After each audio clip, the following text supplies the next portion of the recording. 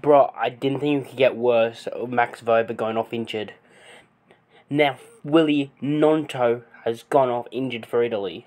Oh, no. This is not good. Our players are dropping like flies in this international break. They're all getting injured. This is not good. Two of our star players, our star attacker in Willie Gnonto, and our best defender are now both injured. Hopefully they're back by the time we play Arsenal, but jeez, that players are they're getting injured. This is not good. so yeah, this is great.